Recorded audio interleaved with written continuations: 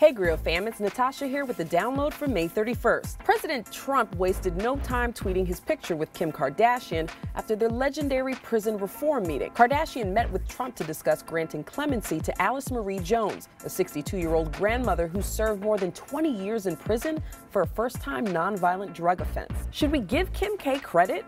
Or should someone else have gotten a seat at the table? And the family of a black Florida man who was fatally shot in 2014 by a white sheriff in his garage got $4 in damages. The family of Gregory Vaughn Hill Jr. filed a wrongful death lawsuit after sheriffs went into Hill's house for a loud noise complaint and he ended up shot three times. And Drake says, relax about the blackface photo. It wasn't part of a shoot for a clothing line. Instead, it was during his acting career, where he was showing the stereotypes and roadblocks black actors have to face in the business.